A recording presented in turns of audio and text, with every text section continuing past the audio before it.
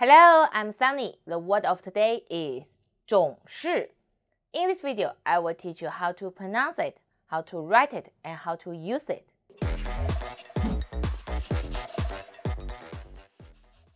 First, let's read together. 我们一起读，总是，总是，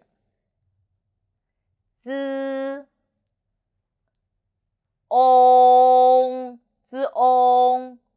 总 and third tone 总，是是，first tone 是，总是，very good。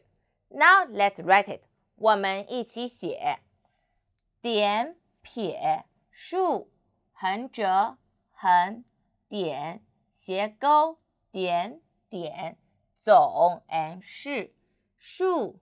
横折横横横竖横撇捺，总是总是 means always. She always comes early. 她总是来的很早。I always forget bring umbrella. 我总是忘了带雨伞。Okay, let's all about 总是。So, if you liked this video, please like and share to your friends. Thanks watching. See you next time. Bye bye.